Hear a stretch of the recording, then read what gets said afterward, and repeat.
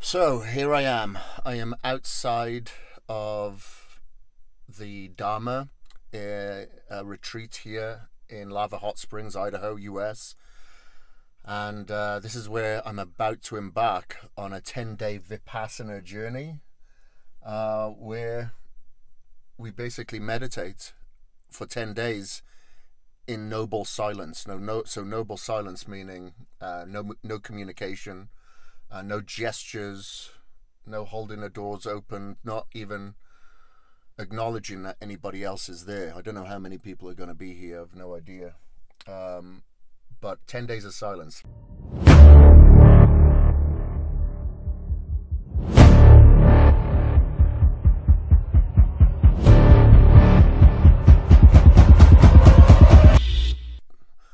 I think I can handle the 10 days of silence. It's uh, the meditation is going to be the difficult part, knowing that I'm going to be alone in my thoughts uh, for that time. And uh, this is quite a drive down here from Boise, Idaho. And it's funny, like I've I've been looking forward to this, looking forward to this, just a disconnect from the world and the noise.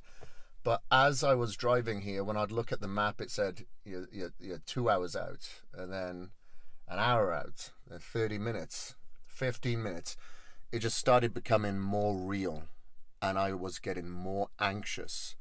And uh, the voice of reason and compromise just kept coming up into my head. You don't have to do this. Like, you could probably just check into a hotel, no one would know. And uh, you could do the same thing. Uh, but obviously, that's not what we're here for. You know, the one thing that scares the shit out of me is uh, just being alone with my thoughts because one of the reasons why I'm so distracted or so addicted to movement and to work um, is because I'm trying to get distraction from my thoughts. You know, whenever I, I always say I, I don't like to think too much because it makes me think too much. And uh, you know, I, um, I've mentioned before I've got low dopamine levels, low uh, GABA levels, so I have to do a lot of things all the time and kind of get addicted to stress just to feel normal, just to bear the day, just to deal with life, you know. But it isn't getting me anywhere, you know, being addicted to work and getting addicted to stress, especially when you work with your partner. And I was thinking about uh, Sunshine, my, my partner as well, on the way down here, thinking, you know, I don't acknowledge her enough. Of course, like I'll try to open the door for her when she gets in the car, but then, you know, you go back to routine and then all of a sudden you forget. And it's the same thing, especially when you're working together. You know, you're always like, is this done? Is that done? Why not? Why isn't it done? Why was this late? Instead of acknowledging all the qualities of contribution, you know, and sometimes, unfortunately, you know, your work life filters into your love life, you know, and it's not good. So, uh, I want to be a better person to be around. I want to be a better person for others. But more than anything, the reason why I'm here is I want to be better for myself. I want to be more forgiving to myself. People have said I'm brutal to myself and um, you know it's made me think about that and i am i give myself a hard time. If i'm late i give myself a hard time. If i forget something i give myself a hard time uh, a lot more than i should. I don't give myself any slack. And here i am i'm trying to biohack my health trying to reverse the biological age process you know with all the ancestral wisdom and today's technology and what i put in my mouth and exercising daily. But heart disease is the biggest killer through stress, and I'm a very stress stressful person, and I can't keep going on in life chasing, chasing, chasing, chasing without having an experience. You know, because I'm not having the experience. I'm always trying to deliver something. I'm always trying to get something. I'm always chasing something or running away from something, but not experiencing anything and I want to experience. Is this going to be the answer? Who fucking knows? Am I going to be able to see myself through this? Who fucking knows? I think I can. Like I said, the silence is going to be easy. I deal with major back problems from motocross I don't complain about it. I don't moan about it, but the majority of my day is kind of dealing with that subconscious pain. It's it's there, but I've got used to it. And um, you know, massage therapy, chiropractors, acupuncture, you know, it all has its band-aid, but it doesn't help the root cause. So being in a kind of a stress position, meditating from 4 a.m. in the morning, apparently that's when you you know you get the gong, the alarm, and uh, you start meditating, and then you go straight into it and you're pretty much meditating until I think it's like 9:30 in the evening or 9 o'clock in the evening. It's lights out at 9:30. So um, yeah, that's a, a, little bit of a, a, a, worry.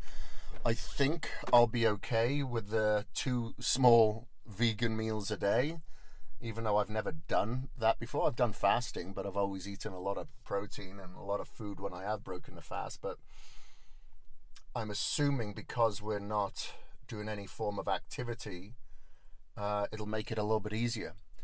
Um, you know, I'm not going to be expiring any calories, so we'll we'll we'll see about that.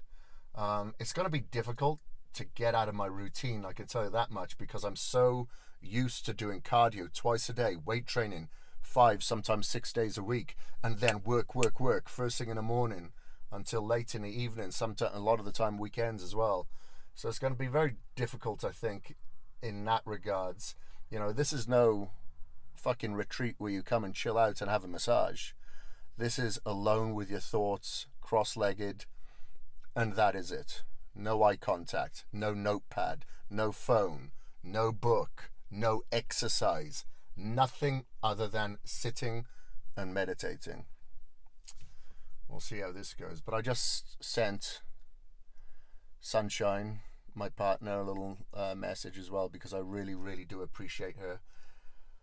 She is everything to me, and without her, there's no way I'd be able to do this. But she is part of the reason why I want to do this to be a better person, to be a better partner, and um, you know, having her there helps this cause. It's uh, it's like a form of accountability, you know. So, anyways. There's a lot of cars here. Um, looks like someone slept in that car over there.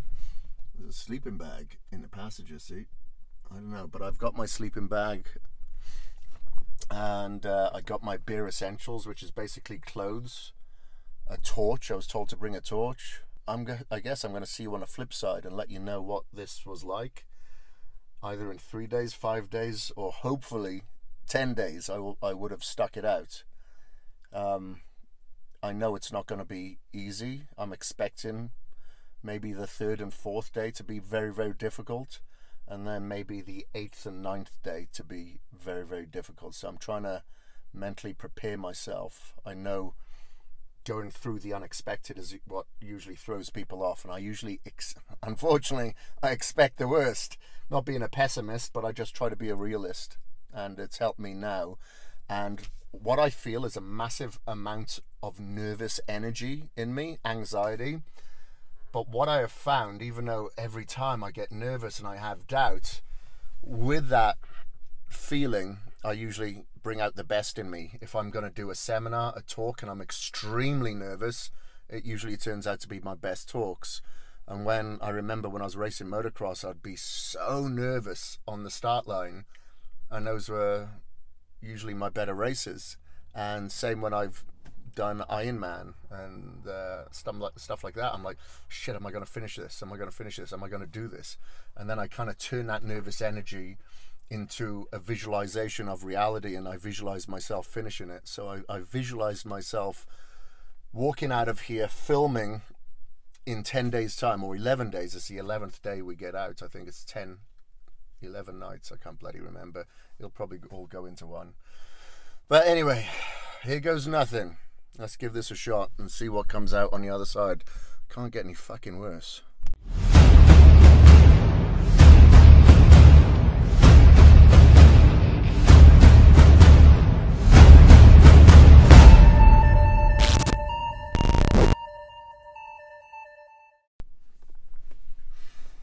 I am back back to reality. Don't know if I want this as my reality though. So uh, I'm out of the 10 day silent retreat. However, it seems like I can't do math because I was in here a little bit longer. The first day, even though we did meditate, it was mainly registration, showing us the rules, our headquarters where we were living, uh, where the meditation was to be, where we were to eat, where there was a walking path, all that sort of stuff. Um, so that was day zero, not day one, day zero. And then yesterday was day 10, supposedly. And then today we started the day at 4 a.m. with uh, meditation and uh, a discourse and and breakfast and get our belongings and pack up and head on out. So I was going to do a video first thing this morning while still on the property, but it was dark. So I figured, you know what, I'll wait till I come to the nearest town, get myself a cup of quaff, decaffeinated, and um, and do this video for you. So this is the hardest thing I've ever done in my life. Hello. That's not me. That's the person over there. But anyway, um, you know, I've had some challenges in my life. Um, I've got chucked out of the US. I've done Ironman. I've done ultra marathon.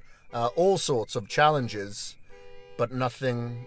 The, all those things pale in comparison to what this was all about. And you know, it wasn't a physical challenge as such, except I did have a horrendously bad back during the meditations. Um, it was definitely a mental challenge. No stimulation whatsoever. You know, it's a silent retreat, and I I'm a little bit of a recluse anyway, so I thought, well, not talking and making eye contact will be easy. It was really difficult because you don't consider listening to voices through music as a form of communication or reading books, you know, words of others, a form of communication. And then on top of that, uh, yeah, you do talk to your wife. Uh, you do, you are on the call uh, calls, you know, um, speaking to co-workers all the time you know there is a form of communication there. So I, that was more difficult than anticipated. You know several times i did want to say to someone god are you struggling with this? Is are you finding this hard? Uh, but obviously you can't you just stay in your own world. Day three was uh, probably the most day three and day seven i think. No day eight was it day seven? No, day three and day seven were definitely the most difficult. Day three, because there is just zero stimulation. You know, you are meditating, and when you're not meditating, you're not reading, you're not listening to anything. Uh, or voices. There's no music. You know, I love music. Whenever I'm driving, I'm always listening to music or an uh, audiobook or podcast, something, something, something. No stimulation. Um, so not being able to read anything. I probably read my toothpaste tube five times. I read my shower gel 10 times, you know, not being able to read anything or write anything down or listen to anything and exercise, couldn't exercise. Um, you know, there was just no stimulation whatsoever. It was tough. Just picking up this phone this morning and switching it on, I, I thought there was something different. You know, there was an update, there was a new app. I'm like, what is wrong with the interface of my phone? There was nothing changed. It just felt so alien. Like, this is the longest I've gone without a phone for 20 odd years. Uh, the longest I've ever gone without speaking. Forever. Ever. You know, so it was definitely very alien. And, uh, you know, the voice of reason was coming in my head on the third day saying, look, just get out of here. You know, you've got what you've wanted. Um, I think you'd be okay. You could just even check into a hotel, blah, blah, blah. Just voice a reason, voice a reason, trying to convince me. But um, again, I just thought, no, this is craving because we're taught in the teachings from uh, Goenka Sir, uh, Goenka, who was uh, teaching the Vipassana through video. He's passed away now.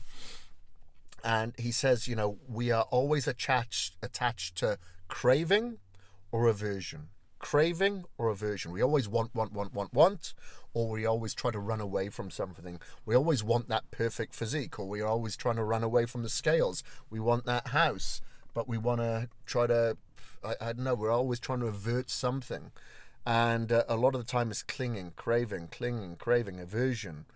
And uh, I just thought to myself, this is just aversion. This is aversion from me getting away from the thoughts in my head and being with myself, and they're clinging and craving to get back to connection, environment, society.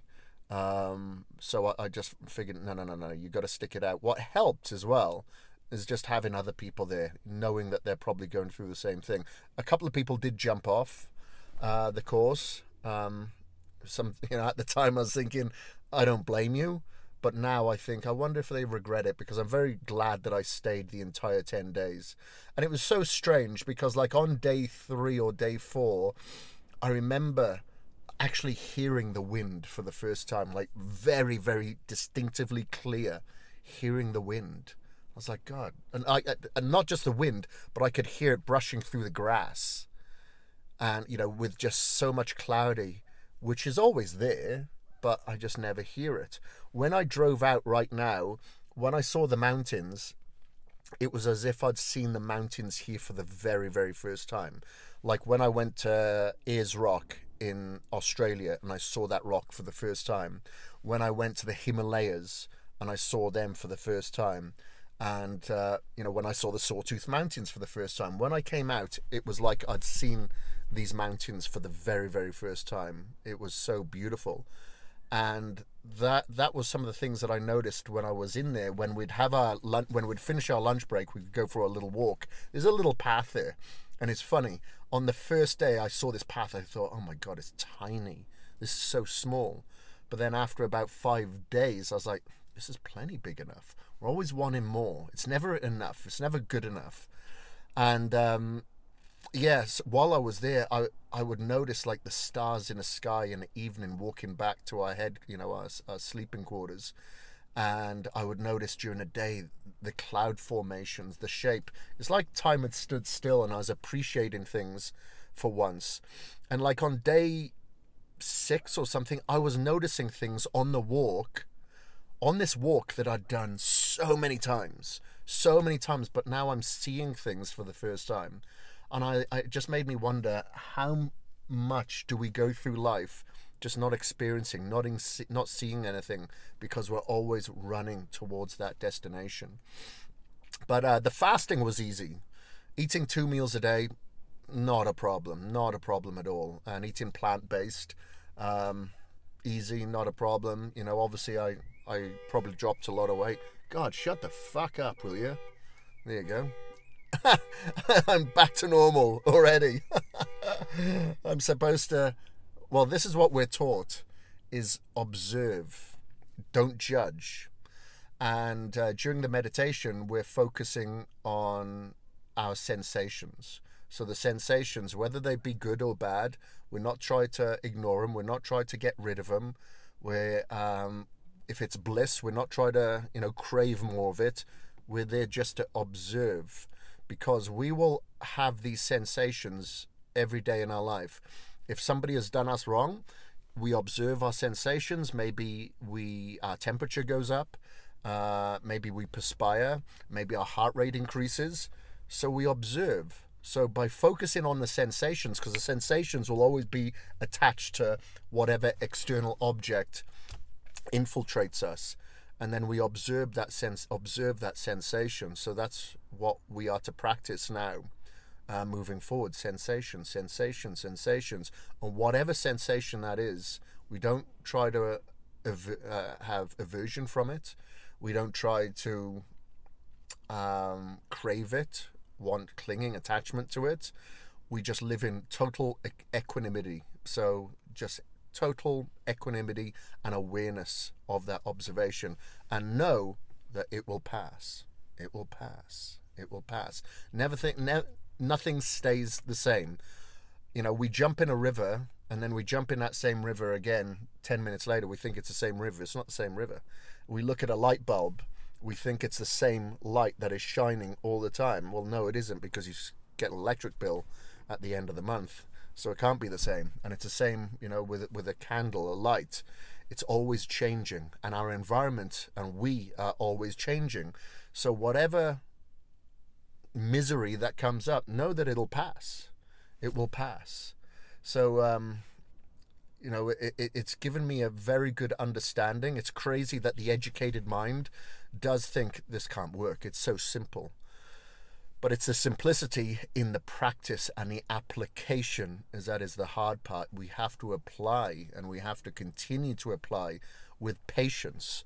So one of the good things that Goenka said in one of his discourses is that think of your mind as an elephant or a wild bull.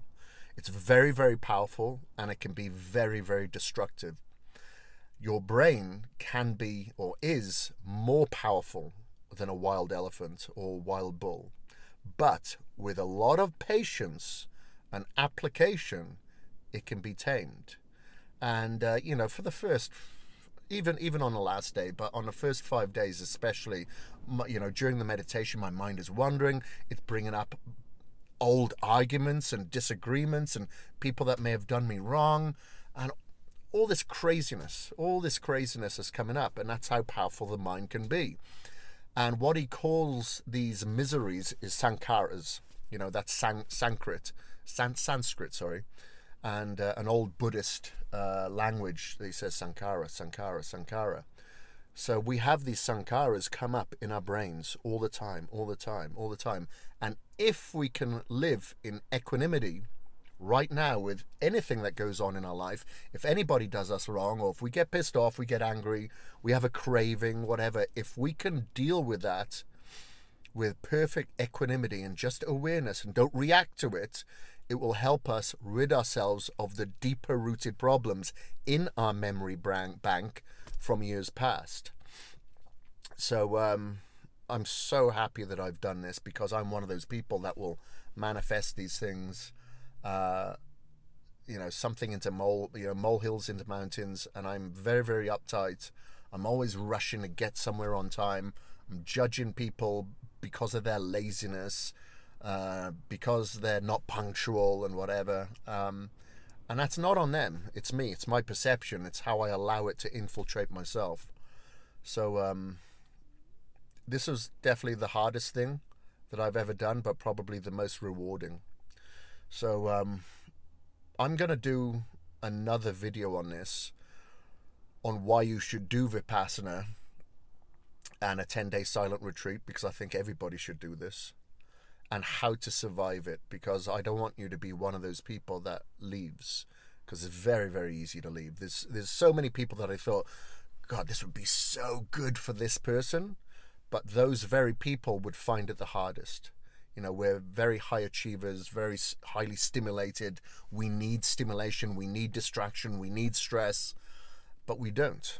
We think we do, and we've just gotten away from our ancestral wisdom, unfortunately, and we've just, you know, we as a human being cannot keep up with the environmental changes that's happening to our race, you know.